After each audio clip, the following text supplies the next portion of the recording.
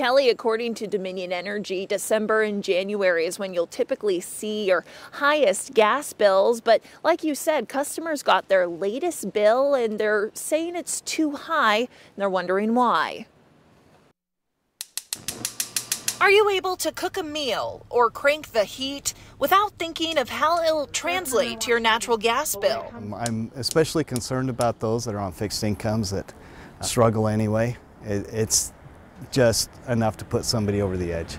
Jeff Hansen did the math and claims his Dominion energy bill went up 65% in the last three years. No, we're doing what we can. We open the blinds when the sun's shining. We, you know, um, turn the heat down when we're gone. I, I don't know what else we can do. Brittany Gaysford Fairday works out of her Syracuse home as a dog groomer. I can't just turn down the thermostat like I have live animals.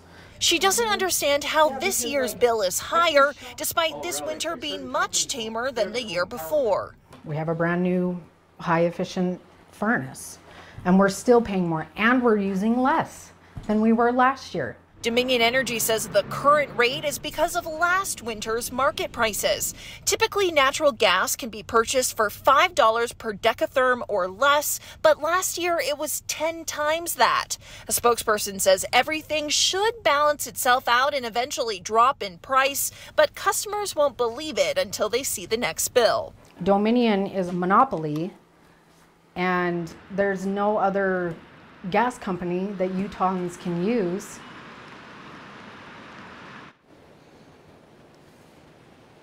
The Utah Public Service Commission has to approve of the rates that you see on your bill, but Dominion Energy recently filed for a $19 million decrease. And if the commission approves that, that those changes could go into effect February 1st, and that would mean a decrease of $10 annually on average. Reporting live, Emily Tenser, Fox 13 News, Utah.